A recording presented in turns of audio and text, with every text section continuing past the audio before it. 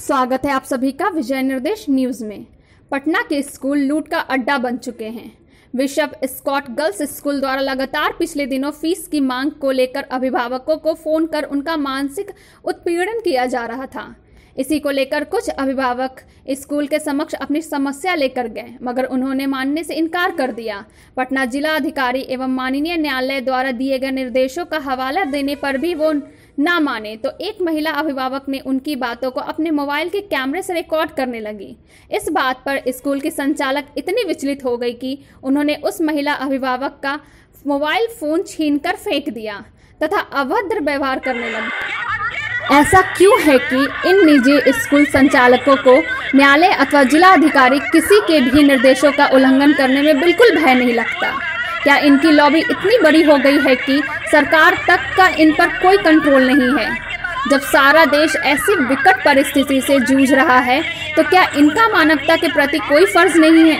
जब सारे अभिभावक इस दौरान गंभीर आर्थिक संकट से गुजर रहे हैं, तथा उनकी कोई भी आय नहीं हुई तो स्कूल वालों का फ़र्ज़ नहीं बनता कि वो उनका साथ दें। क्या स्कूल के खर्चे शिक्षकों एवं अन्य कर्मचारियों का वेतन इतना ज़्यादा है कि प्रति बच्चे पर दस हज़ार मासिक से पूरा होगा? मार्च से लॉकडाउन हुआ। दो महीने स्कूल बंद था। सारे शिक्षक, स्कूल कर्मचारी अपने अपने घरों में छुट्टी मना रहे थे। अचानक आखिरी महीने में इन्हें बच्चों के भविष्य की चिंता हुई और इन्होंने ऑनलाइन क्लास आरंभ कर दी।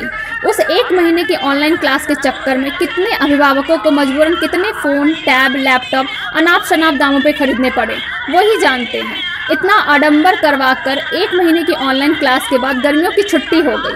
अब ये घर से ऑनलाइन क्लास नहीं करा पाएँगे। अभी इन्हें गर्मियों की छुट्टी बिताने हिल स्टेशन जाना है। ये इनकी नैतिकता है। सरकार द्वारा बंद किया गया वो तो सरकारी गिफ्ट था। गर्मियों की छुट्टी पर तो इनका हक है।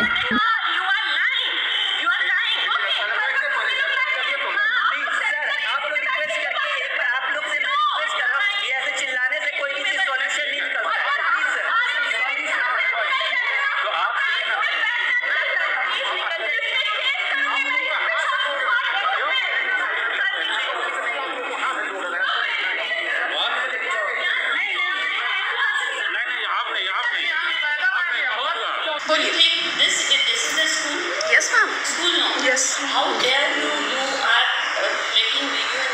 नहीं आप मुझे सिर्फ़ इतना बताइए कि गवर्नमेंट का कोई नोटिस नहीं है कि हमको ट्रांसपोर्टेशन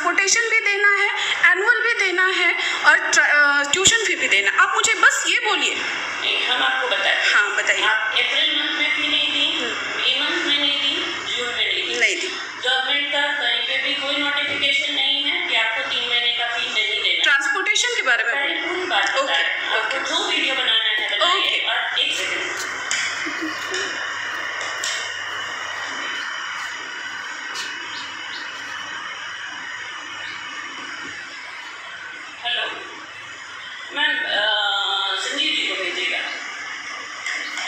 मैम बोलिए ट्रांसपोर्टेशन के बारे में। How dare you are making video over here क्यों मैम नो मैम आप ट्रांसपोर्टेशन के बारे में बोलिए ट्रांसपोर्टेशन फ़ी के बारे में हम जो बोल रहे हैं कि हमारा फ्यूल एक्सपेंसेस नहीं लगा है हम 20% रिड्यूस किए हैं ओके। और हम लोग वो लेंगे और बाकी सारा लेंगे आप ट्वेंटी फाइव हंड्रेड जो जोड़ रहे हैं जीपीएस जोड़ रहे हैं लाइब्रेरी जोड़ रहे हैं लैब जोड़ रहे हैं क्या आप वो लेंगे यहाँ पे बैठ करके वीडियो बना रहे हैं। बिल्कुल मैं बनाऊँगी मैं बिल्कुल बनाऊँगी क्यों नहीं बना सकती बिल्कुल मैं बनाऊँगी मैं बिल्कुल वीडियो बनाऊँगी क्यों नहीं बनाऊँगी जब गवर्नमेंट का ऑर्डर आया हुआ है फिर आप इस तरीके से हम लोग को क्यों प्रेशराइज कर सकते हैं क्यों नहीं पर डे मुझे हाँ बिल्कुल बिल्कुल बोले महीने से आप फ़ी नहीं दी है नहीं दिया। हम लोग किया आपको बिल्कुल मैसेजेस है हमारे पास कॉल्स है हमारे पास आप यहाँ पे आके वीडियो बनाना क्यों नहीं बनाओगे नहीं बिल्कुल पढ़ाना है पढ़ाना है तो ही तो नहीं मैं ये बोल रही हूँ कि मुझे ये जानना है कि क्यों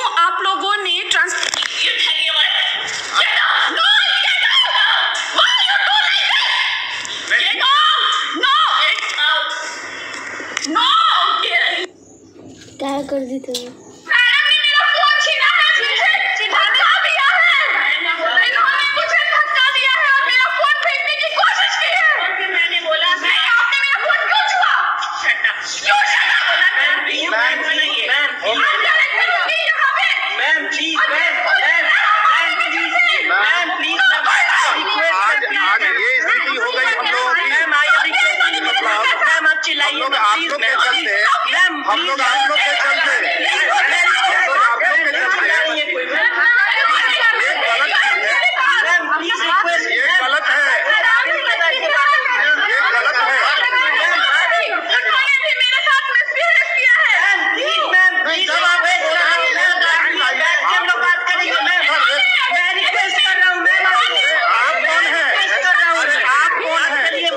कौन है? मैं यहाँ एडमिन हूँ मैं भी यहाँ पे काम करता हूँ सर ये तो पता चले। ये पता चले। हाँ। इस तरह का बनाना भी गलत है ना? हाँ, एक जेंट्स होके लेडीज़ को बोल रहे हैं कुछ है ये तो गलत इशू है ना। नहीं नहीं इनसे ना पूछिए।